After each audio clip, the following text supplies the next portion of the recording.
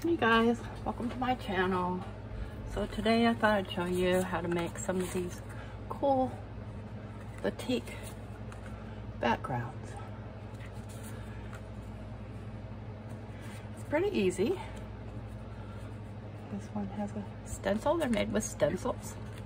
Let's put those aside. And what you're gonna need, you're gonna need assortment of little Brushos or Ken Oliver Color Bursts or TCW Color Sparks powder in various colors. You're gonna need some watercolor paper. You'll be working on the smooth side. And you're gonna need your water sprayer and you're gonna need paper towels. Paper towels. Okay, and I'm gonna start out by getting this first wet on the bumpy side. Okay, get it nice and wet and I'm gonna lay it here on the paper towel. See? And then I'm going to get this super wet, really saturated. Okay, and I think I'll start with the turquoise here. And I'm just gonna drop some on. And I'll let that kind of do its thing. And I like to take a brush of some kind and get this wet and clear out that heaviness. I don't like it to be heavy like that. Just take my brush and move it around. But I do want it to be nice and dark. You can see how wet that is. And you're just gonna kind of pick it up and move it around. And I get it everywhere. It just is what it is. I'm just gonna move that around. Okay. Once I've got the blue on, I'll dump some off. And just kind of tip it back and forth. Give it a click off. You want your paper to be a little bit bigger than the card size you're working with. Okay, so I've got the blue on. Now I want to go in with some Terra Verde green.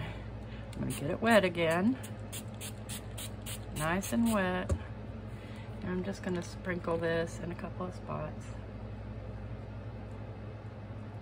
You can do any colors you like. And again, I like to move it around, move it around. Try and avoid those hard spots if possible. Get some more water on there, get it moving. Yeah, get that moving around. Honestly, most of the time I do this with my fingers. And then I want to just start tipping it back and forth. Again, just getting that color moving.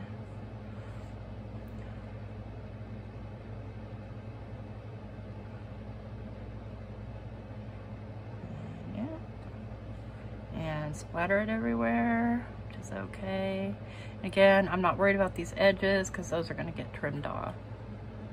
I'm going to tip that down, tip it off a bit, tip it back, let it move. We just want some good heavy color. Okay, and we try to avoid getting it just in one single spot. So, okay, let's get this wet. I want it a little bit darker. So I'm gonna go in with this Color Sparks turquoise and sprinkle some on.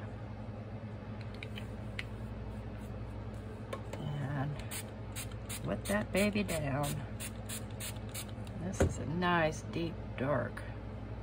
I definitely want to move that around.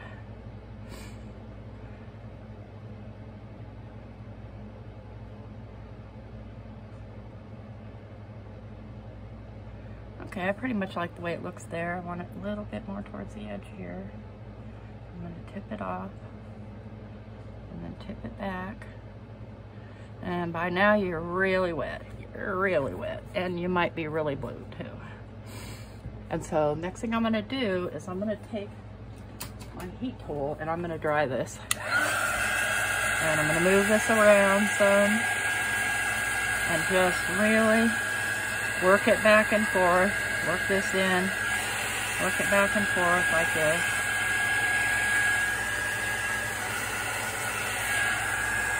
Can keep those colors moving around.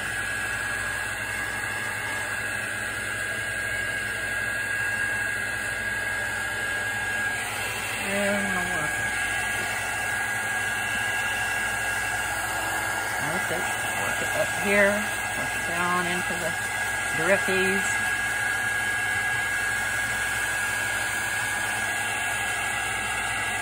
I don't like the way something looks.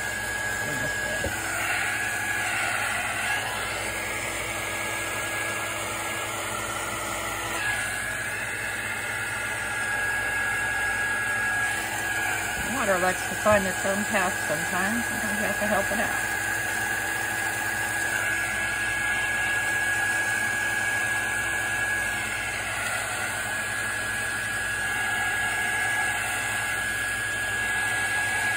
Once you've got it pretty dry, I'm gonna get your paper towel out of there. Mop up as much as you can. And then continue to dry. We want this 100% dry.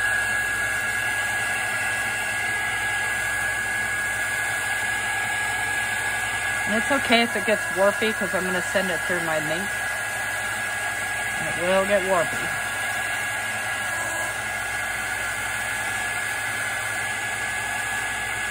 Dry the back side.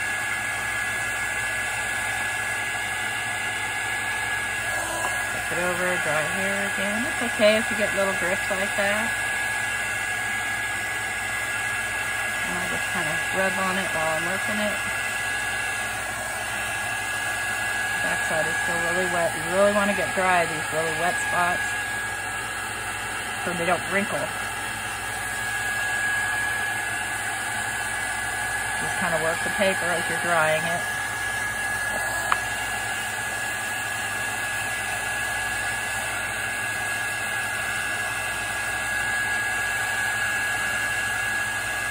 Okay, that's good enough. Okay. Next thing I'm gonna do is I'm gonna get out my MINC. And I'm gonna turn it on. I'm gonna wait for that to warm up. And I have this little carrier that I made. Look at my fingers. And I'm just gonna place the caper inside the carrier and wait till this heats up. Meanwhile, I'll try and get some of this crap off my hands.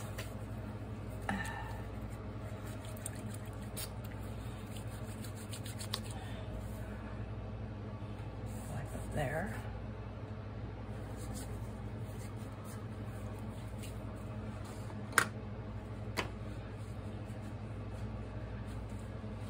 You see this is flashing.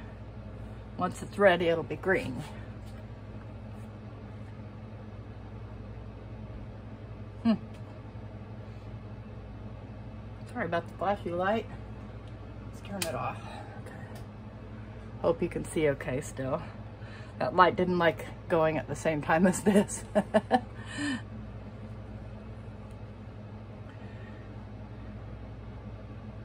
Want it to be good and hot the main thing I want to help dry the paper and I want to get the warps out.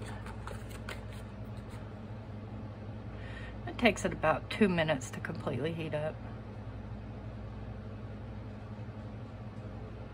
All my lights are flashy because of it. it's because my air, I've got the air running and all these lights on.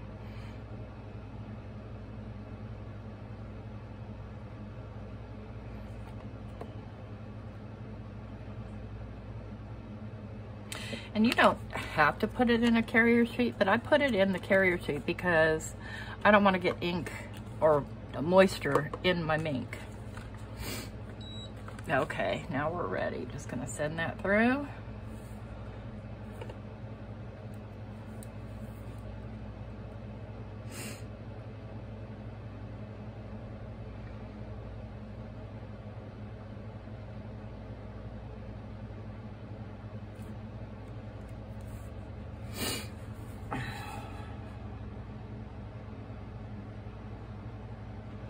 The flashy light will bug the crud out of me.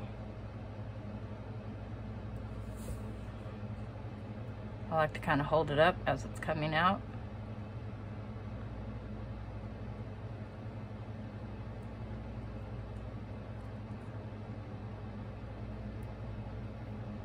That'll be hot. All right, let's see here. Yeah, that's flat enough. We'll go ahead and shut off the MINC. Get it out of the way. And um, I'm gonna take one of my stencils here. And let's see here. I think we'll use this, this leafy one from Catherine Pooler. And you're not even gonna believe how easy this is. I'm just gonna lay it on the paper. Let's get the light back on now. That's better. I'll lay it on the paper. I'm gonna take my paper towel here. You see it okay? And I'm just gonna douse it. I'm gonna get it really wet. Really wet. Make sure it's wet all over. Okay, now I'm just gonna pick it up. I'm gonna gently lay the wet part onto where my stencil is and press. Just gonna massage that in. Don't wanna move my stencil around or anything. But you see it's picking up ink there.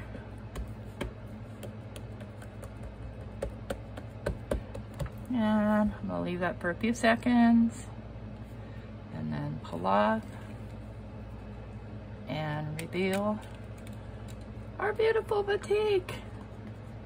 You see? Now we've got a nice batik background. Now, what I like to do is take a mask that I made and before I do it, where did it go? Where did you go, little brown mask? Must be over here. I just made this with a piece of um, laminate paper. What I'm gonna do is I'm gonna trim this down to the card size that I want. So I'm gonna do this one five and a quarter by four. I think I wanna keep the dark side. Oh, I got that pretty crooked, didn't I? Five and a quarter by four. And I'm going to, I'm gonna lay this over and make sure I have it centered where I want it. Right about there is fine. I'm gonna take the same paper towel, I think. I'm just gonna kind of fold it in half. Get it a little bit more wet.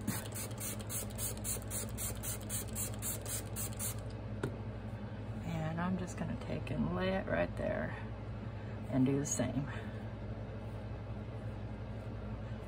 So that I can have a lightened center.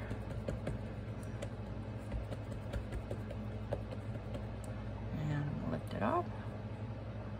Lift that off. There, we got ourselves a little spotlighted vignette. And it'll lighten some more as it dries.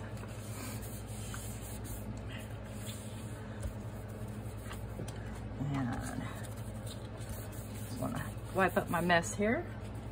And then I'm gonna take my regular heat tool. I'm just gonna heat this. Get it nice and dry. Because it's wet.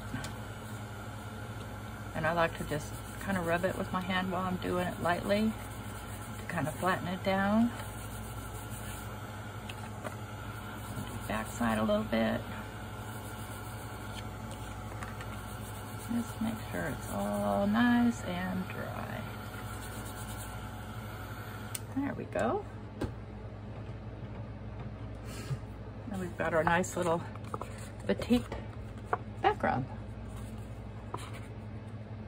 Okay, that's all there is to it then. You can do your stamping. Pretty easy, right? Again, I'll show these again. Um, this one, I use the boho circle from Simon Says Stamps. And for this one, I use this stencil right here. This is a paper rose stencil. And for this one, I use the same technique, but I darkened around the edges. This one, uh, where did the stencil go? I lost it somewhere. I can't find, oh, for this one, I used this stencil right here. I think it's from Hero Arts. And this one, you can barely see the bubbles, but I used a bubble stencil. And then this one, same technique, just a different color. And then this one, same technique, just a different color. So there you go. There's that. For part two, we're going to stamp this background.